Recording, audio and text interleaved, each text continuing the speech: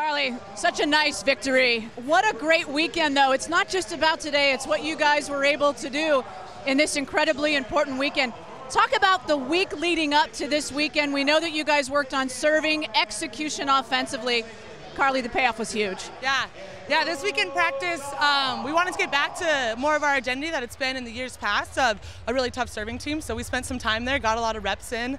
Um, we know if we want to compete with the big teams, we have to serve and pass really well. So that was our focus, and we've had really two good weeks of practice uh, coming back uh, with everyone healthy. So it's been good. It's been good to have a good week of practice and a good weekend with two wins finally. You have played more five-set matches this year than you have since 1990 they haven't all panned out. And and Coach Keegan Cook has talked to you about what he expects down the stretch. How thin is the margin? What does this team look like when you lose 13 to 15 in set five, and then when you win 15 to 13? What did you learn about yourselves in that five-set win on Friday night about USC?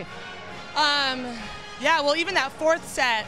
Um, against USC. I mean, 32-30, those margins are small. So our ability to just stay with it and keep siding out when they had, I think, five match points um, moments like that and the five setters that we've had are going to help us down the stretch uh, when we make a tournament run, hopefully. So it's, it's been good. You guys just pulled off two huge wins. That changes things in your conference record.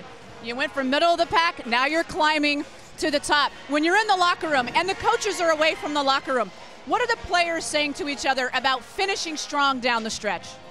Yeah, I mean, the beginning of our season didn't go as we had hoped, but we just know we got to take it game by game. You can't get ahead of yourself and look too far ahead, which maybe we did early on in those first losses that uh, might took it to heart a little bit, but it's about one game at a time, and that's kind of how we talk. Just one game, whoever we play next, uh, that's what we got to play well for if we want to do well this year.